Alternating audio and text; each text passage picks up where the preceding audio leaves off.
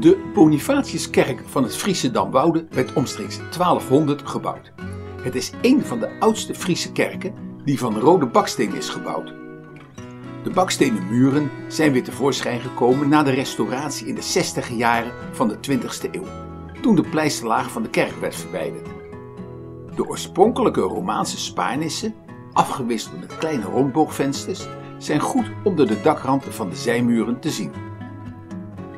Toren is vrijwel gelijk met de kerk gebouwd en dateert uit de 13e eeuw. Wel is het oorspronkelijke helmdak van de toren later vervangen door een zadeldak. Ook in de torenmuur zijn de Romaanse ornamenten te herkennen. Volgens het volksverhaal zouden er in de kerktoren stenen broden van Bonifatius zijn ingemetseld. Deze broden figureren in diverse zagen rond de persoon van Bonifatius, de heilige aan wie deze kerk is gewijd.